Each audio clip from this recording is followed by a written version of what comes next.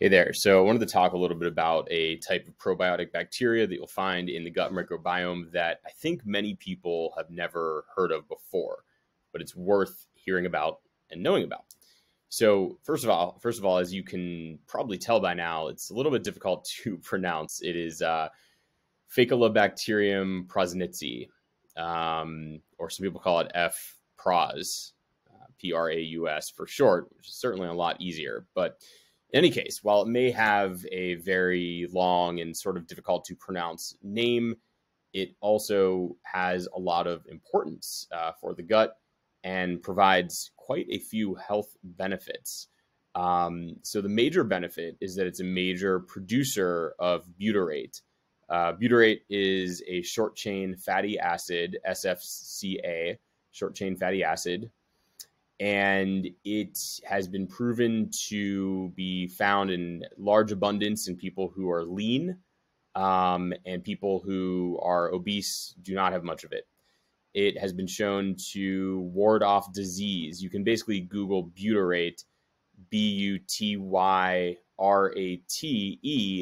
and learn more about it. But uh, the, you know whenever the body produces short short chain fatty acids um, you're basically talking about three of them, which is uh, butyrate, acetate, and propionate. Butyrate is probably the one I'm most familiar with and arguably the most important. Um, and so this is basically a byproduct. Butyrate is a byproduct of the interaction between prebiotic and probiotic bacteria. So this F. praus probiotic bacteria is something that can technically be fed and nurtured and proliferated and grown um, so you have more of it, and then therefore are producing more butyrate. And so this is something we talk about with uh, HMO, human milk oligosaccharide, as a prebiotic fiber that will go into your system and act as the food, not really for you, which is a hard concept to grasp for many people because they're like, well, if I'm swallowing it, it's feeding me. But it actually has no nutritive nutrition value for a human being. It does feed these independent organisms, the bacteria in your gut, the probiotic bacteria.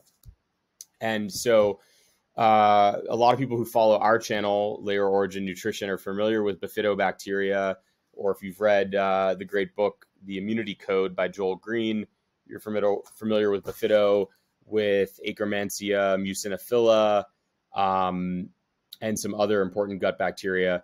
But F. praus is another one and there are some ways you can you can feed it. Um, one is just in general through you know prebiotic fiber. So HMO is a good way to do that. You know if you're pressed on time or you're not sure which foods have prebiotic fiber, you can definitely do um, an HMO powder or you can do you know an HMO capsule. Uh, pure HMO is what you want to look for. Um, or you can you can also just go for prebiotic foods, or also probably the preferred method um, and then there was a study done where people took uh, kiwi fruit extract capsules, um, golden kiwi fruit coming mostly from New Zealand. And there's a couple name brands of it that you can find online if you search for a bit. And people took these and they were able to increase their levels of uh, Faecalibacterium prausnitzii, which was very interesting uh, as part of that study. So there's definitely some ways, and you can buy those capsules online. You know, we have nothing to do with those, but they, you know, are one way to do it, a pretty specific way, according to a, one study. I'm not sure who funded that study, but you know, could have been the companies who make those products. But um, an interesting study nonetheless, and something to keep your eye on. And there's some other ones too that talk about how to increase the uh, abundance of of the F. praus bacteria in your system. Um, but just a very fascinating. Um, bacteria just in general, this uh, Faecalibacterium prausnitzii. And again, it's not your typical, you know, lactobacillus. Um, you know, it's not uh, one that a lot of people have heard of before. And I think that's partially what makes it so fascinating is, is it's, you know, something that uh, not everybody knows about.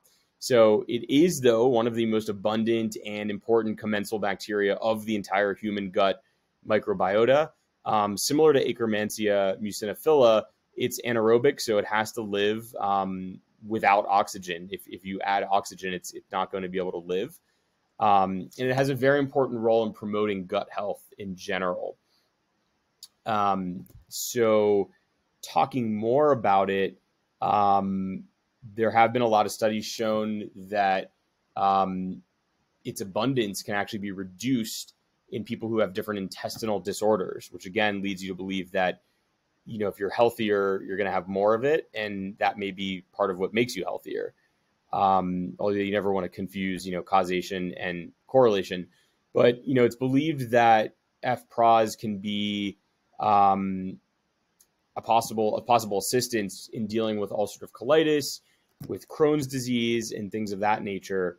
Um, as I said, it's one of the main butyrate producers found in the intestine. Um, and as I also talked about before, butyrate has a crucial role, plays a crucial role in gut physiology and well being, um, and also is the main energy source for the colonocytes, and also has protective properties against colorectal cancer and inflammatory bowel diseases like IBD, which is huge. Um, butyrate can reduce intestinal mucosa inflammation. Um, so there's a lot of benefits you're getting there. And so again, just wanted to quickly go over this uh, type of probiotic bacteria, uh, Faecalibacterium something that is certainly worth a little bit more research. I'm not going to take up your whole day and uh, go on and on and read what you could read yourself, but um, definitely something to look into and think about taking a prebiotic supplement or looking for these kiwi uh, capsules which are also you know are prebiotic that, that act as a way to grow and proliferate the um, this type of bacteria. So food for thought, and uh, certainly good good idea to provide some food for your microbiome in the form of prebiotics. Getting a little corny here, folks. All right, well, thanks for watching this, and uh, good luck in your learning adventures and your health.